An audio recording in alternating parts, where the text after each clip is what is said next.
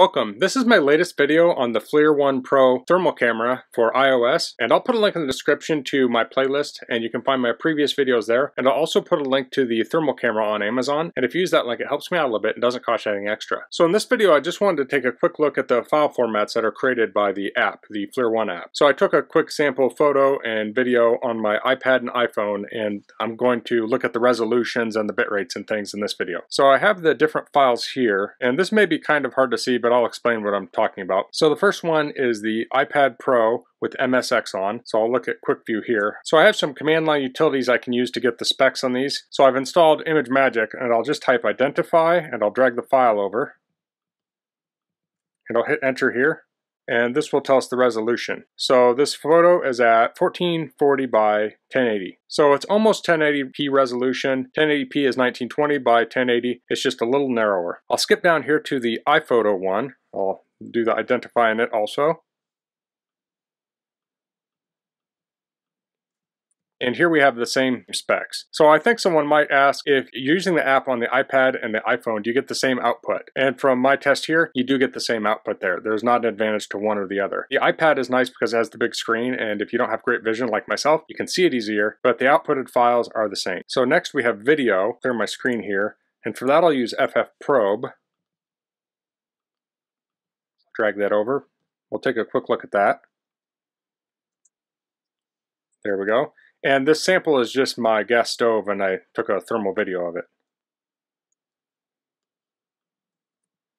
So here we have the video resolution, and it is 1080 by 1440, so it's just slightly smaller than 1080p. The bitrate is 975, and then let's take a look at the iPhone video also. And here we have similar results, and we have 995.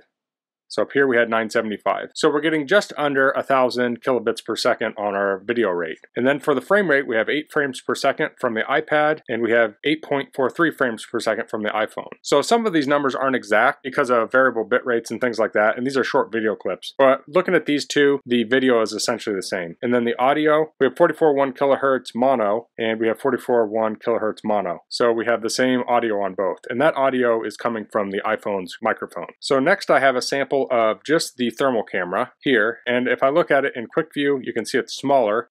Clear my screen, I'll pull this up. So if we turn off MSX and just look at the thermal image and take a photo, that's at 640 by 480. So that is smaller. And we have video of that too.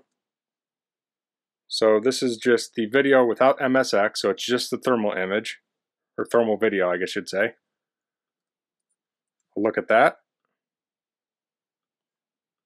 So here you can see it's 1080 by 1440 and just under 1000 kilobits per second. So if you turn MSX off, your photos will be smaller and lower resolution, but the video will be the same as the MSX version. Then I also just have regular video here and I have regular photo. So the regular video and photo without the thermal on it and no MSX was also the 1440 by 1080. I was just doing that for comparison. I don't know why anyone would use that camera over their phone's camera because it's not as good and it's not made to be as good. So I did one other thing down here. I called this pseudo native 160 by 120 and I'll just play this here. So the resolution of the thermal camera is 160 by 120. So I scaled this down to 160 by 120.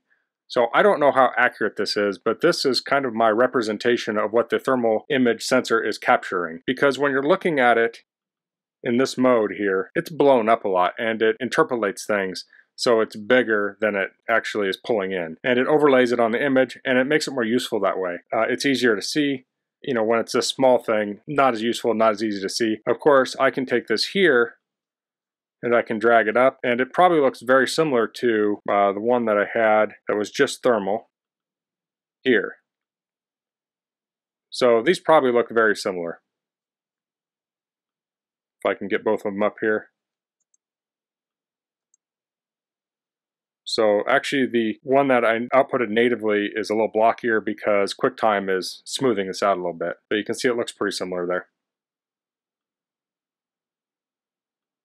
But if it wasn't scaling it up, it would be this tiny little video file.